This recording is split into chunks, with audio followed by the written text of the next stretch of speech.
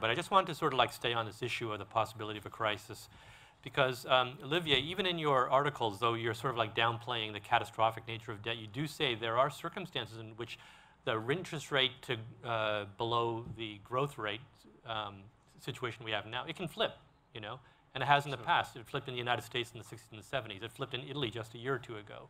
So how do we, uh, first of all, how seriously should we take that risk? Number two, are there any sort of warning signs or sort of like fundamental changes that we should be especially careful about encountering uh, because those are the kinds of things that would actually foreshadow a sudden change in the interest rate to growth relationship and the onset of all these dangerous dynamics.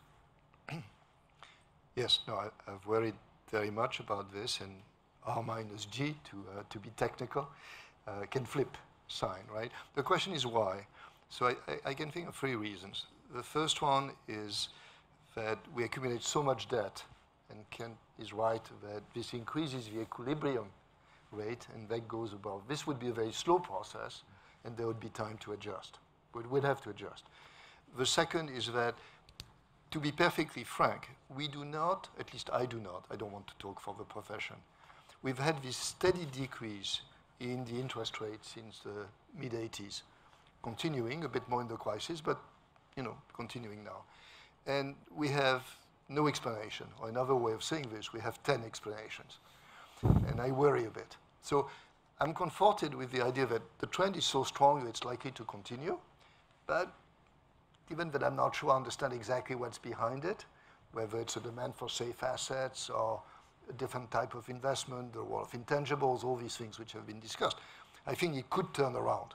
So I do not exclude the possibility that the equilibrium interest rate, if you want to uh, use that word, would go up. Again, I think it would be a slow process, in which case, you know, if it happened and you invite me again in five years and R is higher, I will basically say, well, I have the same approach, but the numbers are different, and therefore you have to reduce that. Uh, the third one, which I think is the most relevant for most countries, particularly in Japan, but I think in the US, is again kind of this sudden stop Latin American thing, in which the investors suddenly wake up and say, well, end of the world, we sell. Now, what's interesting in this case is if the investors are scared for no reason except that the other ones are scared and you want to get out before they do, uh, that's something that the Fed can deal with. I mean, in Japan, one of the main reasons why they're able to maintain these very low nominal rates is basically the BOJ, the Bank of Japan, has said, I will maintain the long rate at that level. If you sell bonds, I'll buy them. So when you have a big player like the BOJ in front of you, then you're not terribly worried about the rate going up because you know they're going to buy. So if it's a liquidity issue or a sudden stop issue, not a fundamental sustainability issue, then I think the Fed would probably be able to avoid it.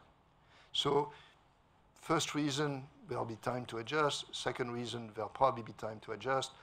Third, which is a sudden stop, a sudden increase in rates, I think the Fed could avoid it.